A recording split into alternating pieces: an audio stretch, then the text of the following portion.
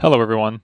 In this video, I'm going to talk to you about how to complete the star chart as fast as possible so you're able to unlock arbitrations and the steel path. I have a few builds with Nova here that will help you get through every mission as swift as possible so you can grind out the star chart as quickly as you possibly could. But first, if you don't already know this, to unlock arbitrations in the steel path, you'll have to complete every node on every planet here a node is these like little dots that you play the missions on. And if you haven't beat a node yet, it will blink like this. So you'll know you have to go beat it. There are a few locations that you unlock through the quests and the main quest progression, like Lua, the Kuva Fortress, and then there's another one here called the Zariman. It's uh, that's the last one you unlock. It's like the you'll have to beat the new war, and then you can do the Angels of Zariman quest, so you can unlock this area. But you'll have to complete every single node on all these planets here, except on Eris, this Jordas Golem Assassinate and the Mutalist Alad V Assassinate. They are excluded from this. Also, if you're really close to beating all the nodes and you're not sure which ones you have to do still and you can't like find it, you can go to Pluto or you can go to any relay. Actually, you don't have to just go to Pluto. And once you get here, you're going to want to go to the Arbiters of Hexis Syndicate room. They're over here, usually on the right. I think it's the same in every relay. And this first guy on the left here, he actually is who you talk to once you unlock arbitrations, and he'll give you the uh, rewards and stuff. But he tells you, yeah, he's going to tell me I'm not ready for arbitrations, and then he'll tell me some of the mission nodes that I haven't done. So I have a lot to do still. So since he's just telling me the node names, it's not really telling me like what planet or what I have to do, but you can go to Google and like what's this, Apollodorus or something, so if I go to Google and type in Apollodorus Warframe, I've already done this, then it'll come up and there'll be a lot of search results. It won't always tell you exactly where it is. This Warframe Drops website will tell you where things are at uh, most of the time. If you just type in Apollo on here, uh, then all the blue results will be places but not every single location has a drop table, so it's not always on this website. But if you just type in the mission name and Warframe, then some result will give you a hint onto what planet it is. So my first general tip for you for grinding out the star chart is to play solo or with a friend that's teaching you the game or is learning the game with you. If you play in public lobbies, the experience you have is going to be really inconsistent. It could be a lot of fun, or you could get carried and not learn anything, or your team's going to hold you back and make missions last longer. They could do this by using frames and defense missions like Wisp, Limbo, or Nova, who can slow enemies down so it takes longer to kill them. They could take a long time to get to doors where you need two people to open them, or it could take them like the entire minute to get to the evac at the end of the mission. All of these things are kind of small gripes, but with over 100 missions, maybe like 200 missions, I'm not even sure how many missions are in the game, but this is going to add up and ruin, and it's going to dampen your experience. It's going to it's just not going to make it as fun, honestly. I think so- playing solo or with a friend is much more fun than a public lobby, but that's just my opinion. So, my second tip is to use specialized frames so you can complete each mission quickly. And what you can do is make builds and put them on your loadouts so you can quickly swap between them while you're in your navigation screen. So, you're like, I have a survival mission, this is the build I want to use, and then you go into your survival mission. But you need different frames for each mission to make them go quicker I'm trying to make you avoid that by having you play Nova, which I will talk about still. But I want to explain to you if you're doing like a rescue mission or a capture mission or something else that can go fast, like a sabotage, these are missions where you don't have to interact with the enemy. You can just sprint through and complete the objective. So you want to use a frame that can run through the mission fast because it's going to get the mission to end much quicker. And there's tons of these missions. So investing in a frame like Volt or Nova here is going to make these just go much quicker and much more painlessly. And also, Nova is one of the best for defense missions because she can speed up enemies, which I'll start talking about her now. You can get her from, where is it? Naamah Europa from beating this boss. You get her components here. It's like, I don't know, 33% chance for each component. Maybe one of them is a little bit harder to get. And then you come over here and get her blueprint from the market. Buy that blueprint. So Nova here is truly a jack of all trades but she is actually a master of one, and that's defense missions, like I said. And that's because of her ultimate, Molecular Prime. It sends out the slow moving wave, and when enemies are within the radius, their movement speed, their shooting speed, everything is affected by her modded ability strength. If her ability strength is over 70%, enemies will be slowed down, and if her ability strength is under 70%, enemies will speed up actually. Uh, slowing enemies, you're called a Slova. Speeding up enemies, you're called a Speedva. So enemies that are affected by her ultimate are considered primed. On top of speeding them up or slowing them down, you also will do 100% more damage to their health. Not shields or Eximus Overguard, only the health. So as you can see here, doing like 11 damage and 16 crit. And now I do 22 damage and crit. And 32 crit. On top of the increased damage, when enemies are killed, they'll explode and do a small amount of blast damage to the enemies around them. So you can see why her ultimate's so good for defense missions. She'll be able to get the enemies out of their spawn quicker by speeding them up, and then the damage vulnerability and the blast damage that she does with it will make it so we can kill the enemies faster. So this will end the rounds quicker, and we can get out of these missions quicker. So for the Nova build, we're going to have to put on one Forma in the dash polarity called Naramon, and then we'll also have to put on a Orokin Catalyst. So to quickly explain the builds, the on the Speedva build for defense missions, you'll put on Overextended for negative ability strength, which will speed up enemies by 30%. Then we'll have to mod for duration because this actually increases the radius of the ultimate, not range, because the ultimate goes out for a certain amount of time. So the amount of time dictates how far out it goes. Then also on her one, it dictates how many particles she gets. So when you cast her one, these particles here, they will give us 5% damage resistance. And also, what they do is when you're in range of an enemy, they will fly away from Nova once per second and attack an enemy and do a small amount of damage. We don't really want this to happen, so we use a ability augment mod. I'll show it here to you. Called Molecular Fission. And this makes it so when you kill an enemy that's primed by her ultimate, it will give you two back. So you can see here, I cast this, a couple will fly out of here. I'll cast my ultimate and right now I have 8, and I kill the enemy, and I have 10. So this will keep our damage resistance up. This is like our only form of tankiness on this build, along with Vitality.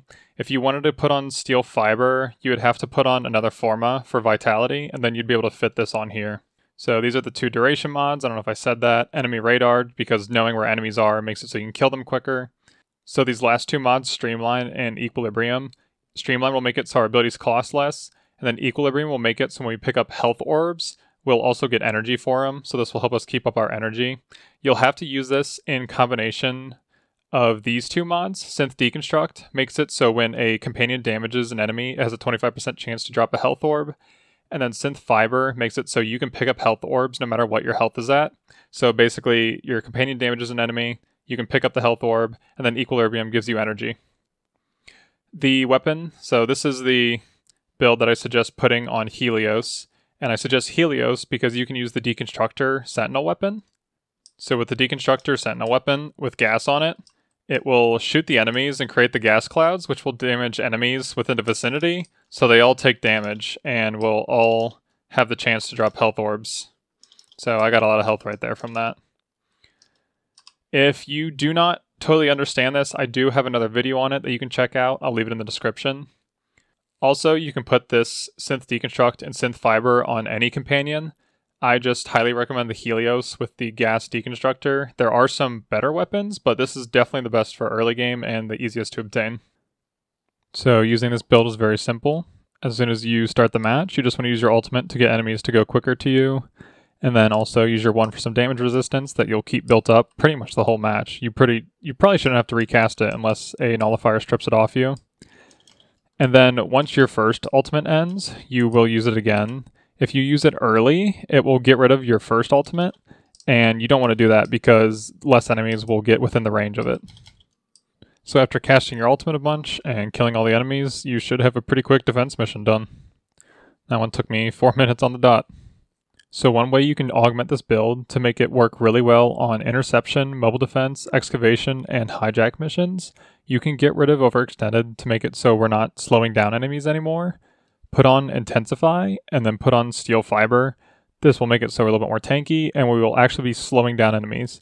So this makes it so on any mission we don't have to kill enemies fast and you just have to complete an objective and it has nothing to do with killing enemies then this will just slow all the enemies down and make it pretty easy for you to complete the objective as fast as possible, especially on interception missions where you just can slow all the enemies down and they won't be taking points like crazy while you're trying to capture other ones. Sadly, one of the annoying things with this game is that if you aren't MR10, you cannot create another configuration slot yet. You can't buy one. So you can't separate your Speedva and Slova build. You'll just have to come here and swap it out every single time and then change it back when you go back to Speedva.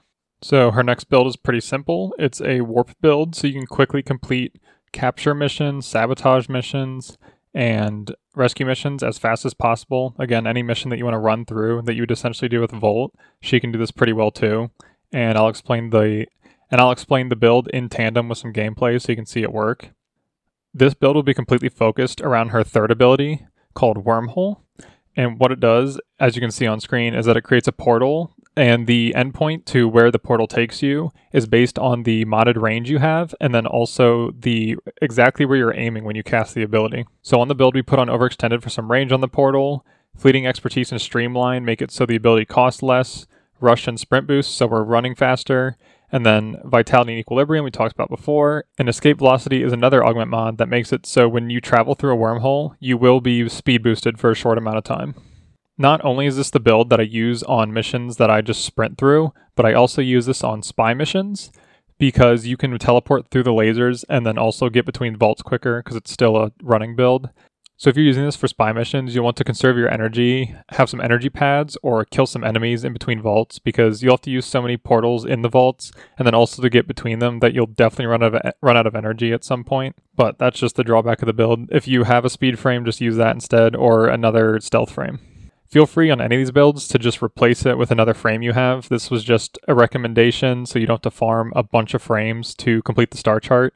I think this is just the quickest way like to use this jack of all trades warframe that Nova is. I also use this on the defection missions. This is the one we have to escort the survivors between uh, life support systems and then get them to their ship. You can actually put the portal in their walking path and then teleport them where you want in the level.